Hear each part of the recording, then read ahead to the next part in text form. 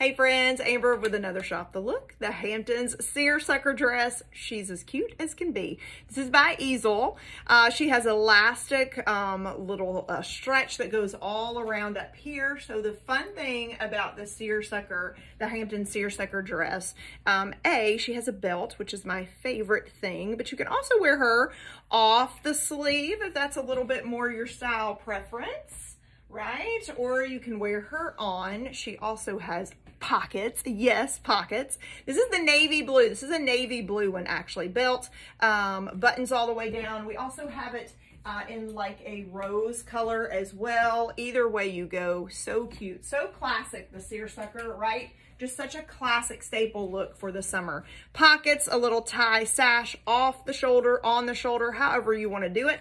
I also have her paired with the Kelly Espadrille, probably one of my favorite shoes we have ever brought through here.